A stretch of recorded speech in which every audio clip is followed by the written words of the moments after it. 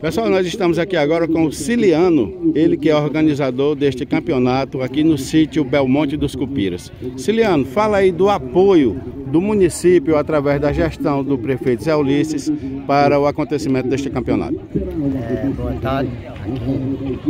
É, boa tarde, pessoal, esse monte de gente tem por aqui, todo mundo, né? Tá vendo? Bom, o que eu quero dizer para vocês é isso. Apoio, graças a Deus, tem muito apoio aqui, graças a Deus, o prefeito é, dá muito apoio, entendendo?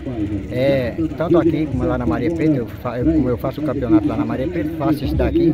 Realmente passou quatro anos por causa da pandemia. Aí nós agora estamos voltando para poder é, dar início ao nosso campeonato aqui no Belmonte. Aí eu quero falar para vocês que é, realmente tem, o apoio do prefeito é muito grande. O Zé Ulisses aí, graças a Deus, todos os campeonatos ele me apoia.